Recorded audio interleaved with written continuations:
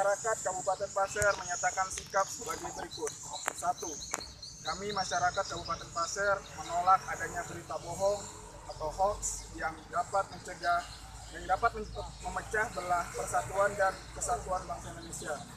Dua, kami masyarakat Kabupaten Pasir meminta kepada pihak kepolisian negara kesatuan Republik Indonesia agar dapat mengusut tuntas terhadap para aktor yang menyebar berita hoax di Indonesia.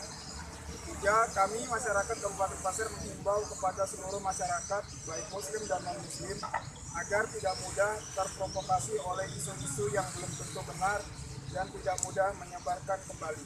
Empat, mari kita selamatkan Kabupaten Pasir dari berita yang tidak benar atau hoax dan ujaran kebencian sesuai moto Kabupaten Pasir, Pasir Buen Tesong atau Pasir Berbaik Hati.